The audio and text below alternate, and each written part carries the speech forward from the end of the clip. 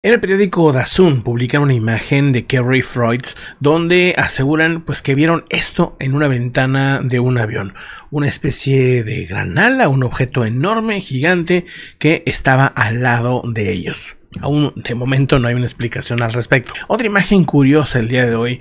Encuentran en los escombros del terremoto en Turquía unos cinturones de oro. Impresionante, vean ustedes ahí la bolsa que están llenando de todos estos cinturones. Entrando a la información internacional, Zelensky, el presidente de Ucrania, habría despedido a este alto comandante militar, el que está encargado del conflicto en la zona este, donde se están dando precisamente la parte de los enfrentamientos. Lo despidió el día de hoy a este comandante, donde, eh, bueno, en una zona donde está el asedio de las tropas rusas durísimo. El decreto de una sola línea, Zelensky nada más anuncia así, de tiro, la destitución de Edward Mosklailbov, un comandante de las fuerzas conjuntas de Ucrania que participa en esas batallas. No hay información del por qué la destitución. Y bueno pues obviamente esto está generando eh, pues una controversia no de qué está pasando por qué en pleno conflicto se mueve a este personaje. Este tipo de murciélago de fruta es uno de los que propaga naturalmente el virus de Marburgo. Esto está sucediendo en, Guinea Ecuatorial, como ya habíamos comentado, hemos dado seguimiento primero cuando empezaron a reportarse una especie de enfermedad desconocida, decían al principio, donde estaba generando fiebre hemorrágica y varios fallecidos. Incluso en ese momento Camerún había cerrado las fronteras porque temían que el contagio, el brote se fuera para allá. Bueno, después se supo que era un brote de Marburgo, este virus similar al ébola, según han reportado la Organización Mundial de la Salud, está buscando a toda costa contener este brote. Y aunque oficialmente nueve personas son las que dicen que han fallecido, aseguran que es, eh, pues la, la cifra probablemente sea muy distinta. Dice la Organización Mundial de la Salud que está trabajando para contener este brote, la enfermedad del virus de Marburgo, similar al ébola, que ha dejado oficialmente en Guinea Ecuatorial nueve personas sin vida. Si bien eh, la cifra podría ser mayor, aseguran. Hasta el pasado 21 de febrero el número de casos acumulados es de nueve, incluyendo un caso confirmado, cuatro casos probables y cuatro casos sospechosos. Todos ellos han fallecido. En esta etapa no se puede descartar eh, que todos los casos de la enfermedad del virus de Marburgo hayan sido identificados. La misma OMS habría reconocido que la mayoría de los contactos de las nueve personas fallecidas no han sido identificados. Aún se desconoce las condiciones de sepultura de los fallecidos, que es importante para que no se siga transmitiendo. Según la información, las nueve personas que fallecieron estuvieron en contacto con familiares con síntomas parecidos a los de la enfermedad de Marburgo y también habrían participado en el entierro de estas personas, lo cual pues podría haber hecho que el brote pueda crecer. Como recordarán, este brote se declaró apenas el 13 de febrero de este mes. Es el primero, el primer brote de esta enfermedad en un país, en el país africano, que pues evidentemente no saben cómo gestionarlo según han advertido. ¿Qué hacen? Pues que están buscando activamente ahora los casos, están rastreando todos los contactos y poniendo en aislamiento a los posibles casos positivos. También se les está prestando obviamente servicios médicos a las personas que ya tienen los síntomas. Los CDC, el Centro para el Control de Prevención de Enfermedades de África eh, y de la Unión Africana, el, el, África CDC y el UA, aseguraron que el día 16 se empezó a actuar, el 13 se supo, el 16 empezaron a actuar y aseguran que debemos de, bueno, deben en, esa zona de estar tranquilos, eh, reconocen que sí, pues se han detectado este brote, pero que pues están haciendo todo lo posible por revertirlo, por controlarlo. Aunque había habido casos esporádicos en, Guinea, no habían tenido un brote de esta magnitud. También en Uganda, en Angola, en República Democrática del Congo, en Kenia, en Sudáfrica, en diferentes décadas se han dado pequeños brotes de este problema. Es igual de mortífero que el ébola y eso hace también que no se pueda extender muchísimo porque los que llegan a contagiarse probablemente puedan perder la vida. Al igual que el ébola es un virus que provoca hemorragia repentina y puede producir el fallecimiento en unos solos días.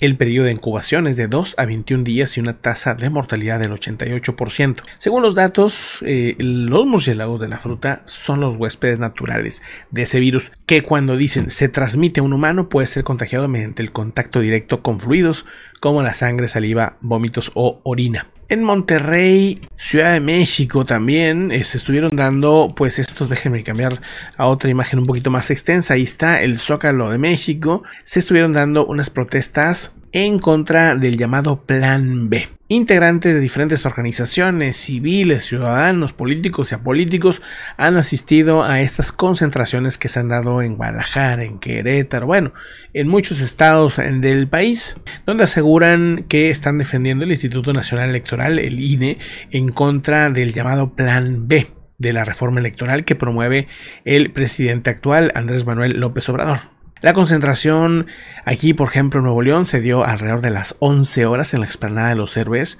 y en la Ciudad de México calculan que duró de 2 a 3 horas aproximadamente. Desde varios países también han advertido que, eh, bueno, no les parece muy bien ese movimiento que se ha estado intentando hacer por parte del gobierno mexicano. Ven que hay riesgos para la democracia del país. Y por eso también, bueno, aquí mismo en México hay una gran parte de la población que ha visto con mucho recelo esta situación y que no quieren eh, cambios en ese sentido. Veremos eh, qué sucede y si hay una reacción, seguramente la va a haber para el día de mañana. Le piden a la Suprema Corte que no permita que esto prospere, que no prospere el plan B. Por otro lado, más de 120 mil californianos habían quedado sin luz, sin electricidad durante las peores nevadas en los últimos años. En los últimos días se ha reportado más o menos un millón de personas sin luz eléctrica en diferentes puntos de los Estados Unidos por dos tormentas invernales que han estado afectando la zona del oeste de ese país. Muchos de ellos ya eh, a las horas habrían regresado a tener luz, pero otros se han mantenido por una extensión un poco más duradera. Desde ayer por la mañana, más de 30 millones de estadounidenses estaban bajo alertas climáticas nada más en la zona del oeste, desde advertencias de tormenta de nieve en las montañas cercanas incluso a Los Ángeles, hasta alertas de sensación térmicas muy frías de varios grados bajo cero y donde, bueno, pues aseguraron esto en algunas partes, sobre todo el sur de ese estado, no habían visto en décadas. La tormenta ha estado desplazándose hacia un poco más hacia el este, o sea, digamos que avanza, pega en California y se ha ido a Arizona, se ha ido más hacia este Nuevo México, Colorado y así estará avanzando. Hay que recordar que en esta zona, en California, a principios de este mismo invierno, eh, en diciembre del 2022, fueron tan tales las condiciones climáticas invernales que generaron 20 personas sin vida nada más en California, sumando obviamente otros afectados, muchos afectados en otras partes de Estados Unidos. Empezó con un diciembre durísimo en cuanto a tema eh, de frío, en cuanto a tema de invierno, y eh, se ha ido mucho hacia, o sea, las afectaciones principales han ido más hacia esta zona de esta región que suele ser muy fría, por ejemplo, hacia la ciudad de Nueva York, hacia Washington, pues vean ustedes, eh, digo, este, están ahorita con temperaturas de 13 grados centígrados, bastante agradable para ser una ciudad tan al norte y que suele ser eh, fría. La tormenta terminó de acumular humedad el día, eh, en estos días, bastante abundante que ha generado casi al punto del desborde algunos ríos, de algunos ríos de California, sobre todo al sur. Los efectos, aseguran, se han agravado y han generado extremas precipitaciones, según lo que explican, en zonas que incluso llegan a pegar hacia el sur, hacia San Diego y hacia Los Ángeles. Dice la tormenta comenzó a desplazarse a través del estado de Arizona, acompañada de otra vez lluvia y nieve hacia eh, desde el norte de California hasta el sur, con precipitaciones desde Sacramento hasta el norte de Seattle, pero desde ahí se está desplazando hacia el este. Generará un clima severo para los estados de Oklahoma, Texas y Kansas para las próximas horas, para los próximos días. Hacia esta zona se estará desplazando la tormenta. Gracias por acompañarnos. Recuerda seguirnos en Telegram. Puedes apoyar este canal informativo a través de un super chat o haciéndote miembro del canal.